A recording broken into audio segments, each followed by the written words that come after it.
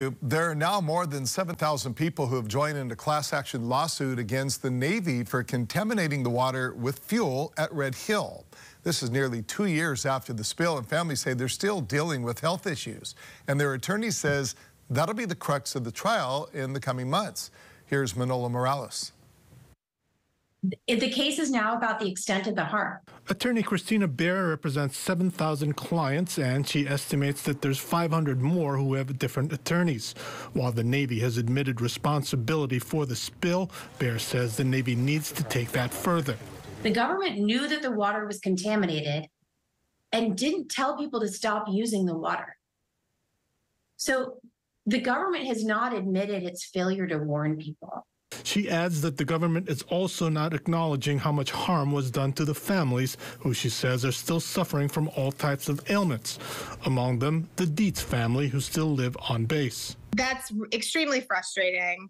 It's frustrating to see your kids suffer as well, um, and to see your kids have that questioning, you know, if their water is safe. Dietz says she and her husband are still suffering from rashes. The kids are dealing with asthma and migraines. Even their dog Rocket is sick. He's been diagnosed with heart issues. Um, he's right on the verge of entering heart failure, so he's on medications. Dietz will be one of six families who will take part in the first trial, which will be held in March. Baehr says it's known as the Bellwether trial, and the outcome will give an indication on how the rest of the lawsuits will be decided. We believe that the judge is going to find that our clients are, in fact, still sick from their exposure, that they have been very traumatized by their experience and that they're entitled to significant compensation going forward.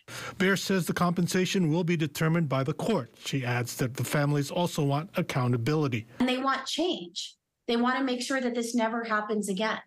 And the only way that they can do that is for the government to accept responsibility. The deadline to file a lawsuit is November 20th. We reached out to the Navy, and a spokesman says they do not discuss matters that are currently under litigation.